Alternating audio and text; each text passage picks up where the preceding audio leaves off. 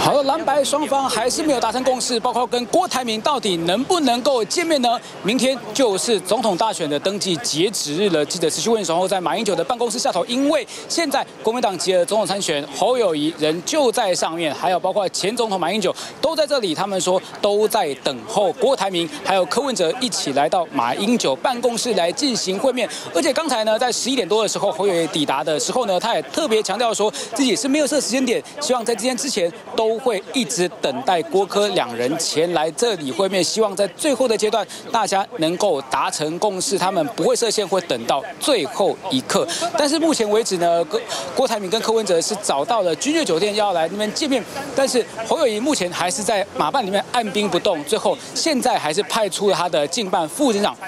谢正达还有国民党的副秘书长江俊廷前往君悦酒店来进行协商，并且亲自的向郭台铭还有柯文哲的方面递出邀请，希望他们可以从君悦酒店移驾到马英九办公室来。显然双方的意见还不是很一致。那至于今天到底会不会见面呢？我们将持续在马办为您掌握最新的消息。想看最完整的新闻内容，记得下载 TVBS 新闻网 APP。